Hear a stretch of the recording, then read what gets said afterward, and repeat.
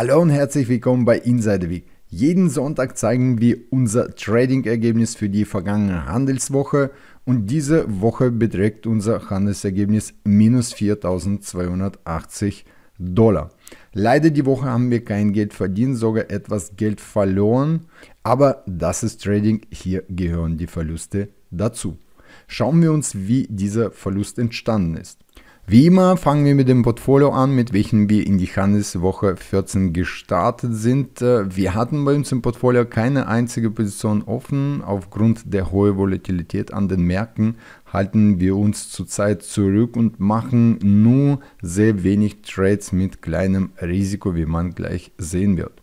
So, den Trade, was wir diese Woche gemacht haben, war ein Trade in Soybean Mill. Wir hatten hier eine Kaufsituation gehabt. Inzwischen hat sich aber nach CUT-Daten die Situation, die Verkaufssituation gedreht. Wir haben aber auf die Trendfortsetzung gesetzt und haben hier erneut eine Long-Position eröffnet. Leider waren wir hier ausgestoppt mit einem Verlust in Höhe von 4.280 Dollar. Das ist auch unser Wochenverlust, weil das war der einzige Trade, was wir die Woche umgesetzt haben. Insgesamt haben wir zwar mit der Idee Geld verdient, aber jetzt sehen wir auch, dass der Trend sich nicht fortgesetzt hat.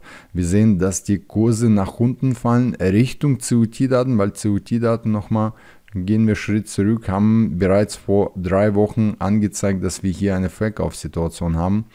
Wir sind aber davon ausgegangen, dass der Trend hier sich fortsetzt, weil der Seasonal Trend war hier auch auf unserer Seite. Jetzt sehen wir, dass der Kurs dem Seasonal Trend nicht folgt und müssen diesen Verkaufssignal respektieren, was wir auch tun werden, weil wenn wir auf den Tageschart schauen, sehen wir, dass hier unser Einstiegspattern entstanden ist für ein Short Trade. Die Einzelheiten besprechen wir heute Abend in den Handelsplänen in unserer Trading Gruppe. Das war der einzige Trade diese Woche. Am Ende besprechen wir immer CRB-Index. Zurzeit ist äh, die Situation bei CRB-Index unbestimmt, weil wir haben eine Innenbar. Innenbar ist nicht aussagekräftig. Deswegen gibt es hier nicht viel dazu zu sagen. Die Woche schließen wir erneut mit einem leeren Portfolio. Unser Risikokapital ist frei. Wir sind bereit für neue Trades. Wir werden jetzt die CUT-Daten auswerten und werden heute Abend in unseren Handelsplänen aufzeigen, welche Trades wir nächste Woche planen. Ich wünsche euch eine gute Vorbereitung auf die nächste Handelswoche. Denkt an die Risiken. Das Risikomanagement ist der Schlüssel zum Erfolg im Trading. Mit Mitgliedern unserer Trading-Gruppe Praxis sehen wir uns später bei den Handelsplänen und äh, mit allen anderen sehen wir uns nächsten Sonntag wie immer bei den Handelsergebnissen.